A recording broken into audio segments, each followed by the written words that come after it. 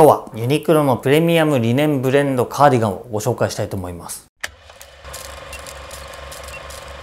どうも皆さんこんにちは。川島隆弘です。いつもご視聴ありがとうございます。今回なんですけども、こちら。なんかユニクロ久しぶりにやる気がするんですけど、そうでもないのかな？今回はね、春に使いやすそうなカーディガンを発見したので、こちらをご紹介していきたいと思います。このね、カーディガンはカーディガンでも、冬場なんかはね、コロンビアのあの、ボアのカーディガンを着ていたりとか、あとはモヘアとか結構厚めのものをね、着用してたんですが、春とかだとね、やっぱちょっと暑かったりとか、季節感が出しづらいっていうのがあって、もうね、春夏なんかよくエアリズムのカーディガンを着用してたんですけども、なんかこのリネンのやつがなんか良さそうだなと。古着でちょっとね、こういった質感のものを探してたんですけど、なかなか出会えなかった時にこちらのユニクロのものを発見して店頭行った時にね XL とかで着用してみようかなと思って試着してみたんですけどなんかちっちゃくてなんか今回はねこのカーディガン黒なんですけど 3XL をチョイスしてみました。グランジっぽくちょっと着崩していきたいなっていう風に思ってたので、まあ、ちょっとゆったりサイズだったりとかあとはこうオンライン限定のサイズだと思いますのでそういったところがね参考になればと思います。あと着方としてもやっぱ綺麗めに着られる方がやっぱカーディガンって多いと思うんですが、まあ、僕なんかはデニムだったりとかちょっと小汚くカーディガンを着るスタイルが好きなので、まあそういった感じのね、テイストが気になってる方のね、参考になればとも思っておりますので、最後までよかったらぜひご覧ください。結構ね、コスパも良くてね、使い勝手のいいカーディガンなので、長いシーズン使えそうなので、商品としてもおすすめです。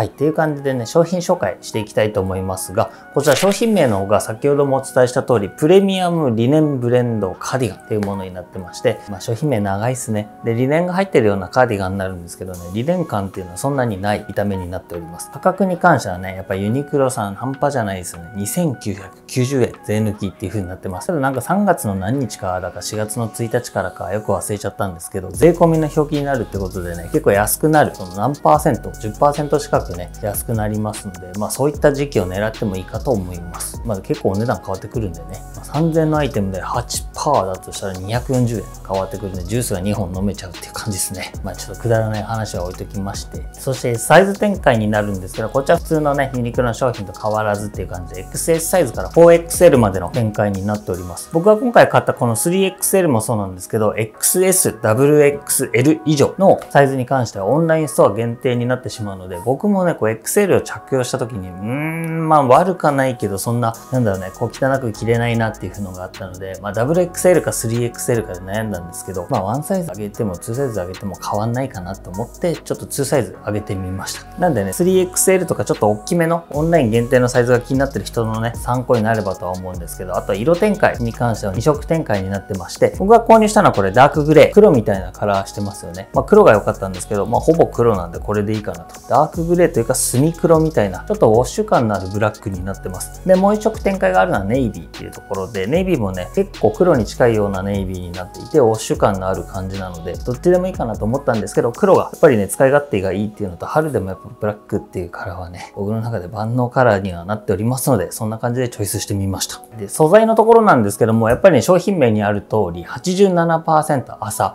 13%ポリエステルっていう素材になってますが、こうね、朝っぽさっていうのはそんなないですかね。もっとこう、ごわつきであったりとか、ドライ感が強いっていうのが偏風だったりとかの素材のね、特徴だと思うんですけども、そんなこともなくね、ある程度のしなやかさもありますし、あとはね、やっぱ朝が入ってるので、こう、軽く作られてるっていうのと、清涼感がね、やっぱそういったところから出てると思いますので、これからの季節ね、春夏、すごく使いやすいのかなっていうふうに思います。こう、春なんかはやっぱ上着として着用してもいいですし、あとは夏なんかはね、室内エアコンとかでガンガン効いてるところもあると思うんで、まあ、結構軽いし、畳みやすいしっていうのもあるので、カバンの中に入れときやすい感じかなっていうふうに思います。で、その他の特徴で言いますと、先ほども軽くお伝えしたんですけど、やっぱ清涼感の部分がすごくね、強いので、春っぽい生地になってると思います。でね、プレミアムリネンって言われてるくらいなんで、上質なリネンにポリエステルを編み込むことで、型崩れしづらい素材に仕上がっているそうですね。なのでね、こう上品さというかね、綺麗感はすごいあるんですよ。ただ僕はね、そういったものよりもちょっと着崩した古着感というか、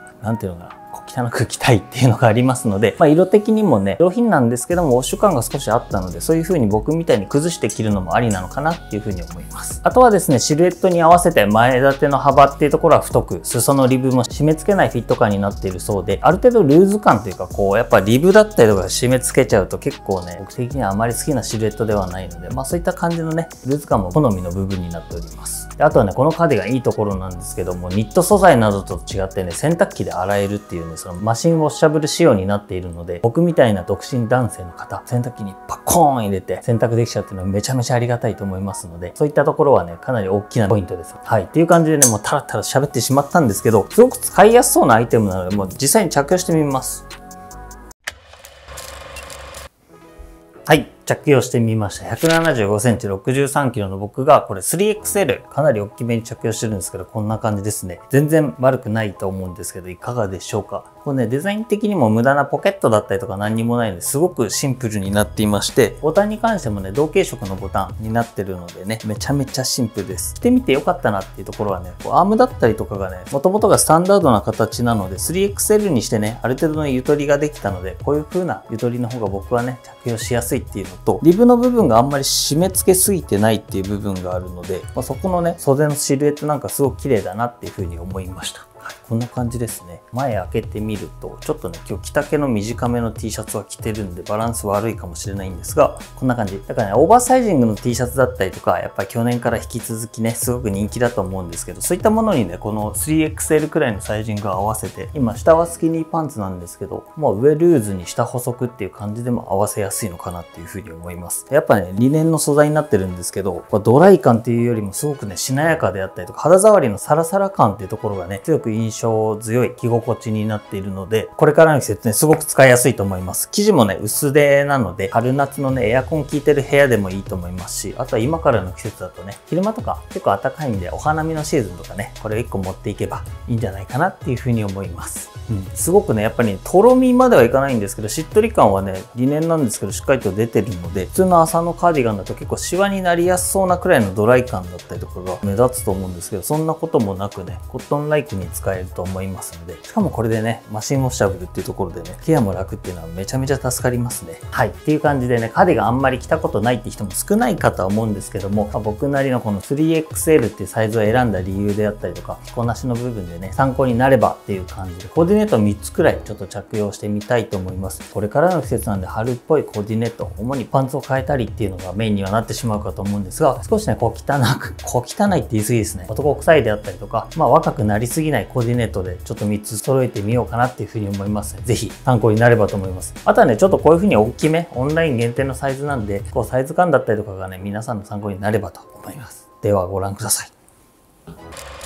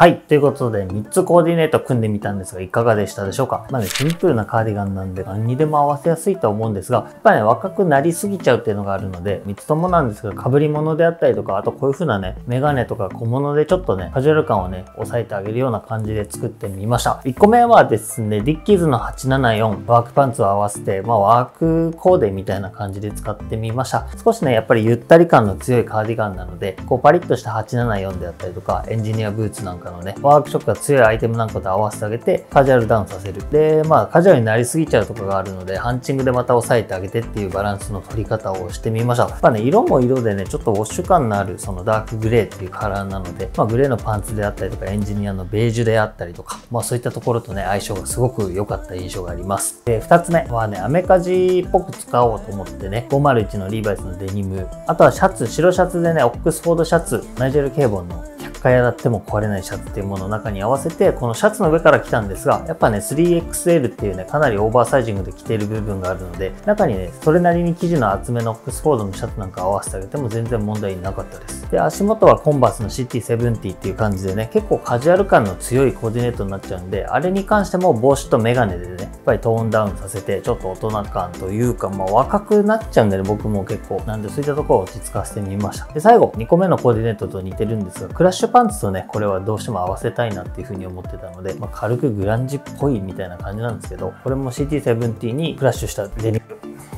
それにね、白の T シャツで合わせようかなと思ったんですけど、やっぱね、このメガネつけてないと結構若くなるんですよ。なんだろう、アクセントが足んねえというか、まあ、そういったところがあったので、まあ、このメガネをしてあげるとね、結構落ち着いたりとかするので、まあ、これで変更グラスっていうんだっけど、こう日の光の下行くとサングラスになる、レンズが入ってるんで結構面白いものなんですけど、まあ、こんな感じで揃えてみました。まあね、かなり使いやすいです。やっぱリネンブレンドっていうところなんですけども、コットンライクでね、サラサラとしていて着心地もいいですし、何より軽いんで、やっぱコーディネートの幅もそういった着やすさの部分がね、広げてくれるかと思いました。はい。っていうコーディネート解説でした。っていう感じで今回はプレミアムリネンブレンドカーディガン、ユニクロの新作をご紹介させていただいたんですが、いかがでしょうか？普段だとね、やっぱ L とか XL のサイズでご紹介することが多かったんですが、このカーディガンはね、もうどうしてもだらしなく、小汚く着たいなと思って 3XL っていうね、ちょっとトリッキーなサイズの方をチョイスさせていただいたんですが、まあね、すごく買って大満足です。これで3000円でコスパすごいっすよね。これね、リネンの素材なんで、夏でもエアコンの効いた部屋であったりとか、あとこれからのシーズン、春なんかはね、ライトアウターというか、羽織物として活躍のシーズンになってくると思うので、まあ、こういう風なカーディガンお探しの方も多いと思うので、まあ、シンプルでね、使いやすい一着、しかも安いっていう感じなので、お買い物上手になれるかと思いますので、チェックしてみてください。まあね、あとはね、L サイズ、XL なんかで試着してみて、それでジャストサイズで綺麗に着るのもありだと思うので、僕は今回そういうコーディネートしてないんですが、スキニーパンツに、まあジャストサイズでこのカーディガン前締めて着るみたいな感じでね、着用しても面白いかと思いますので、いろんな幅があると思います。っていうカーディガンでした。はいっていう感じで今回の動画が良かった、参考になったとありましたら高評価チャンネル登録お待ちしております。また次の動画で会いましょう。バイバイ。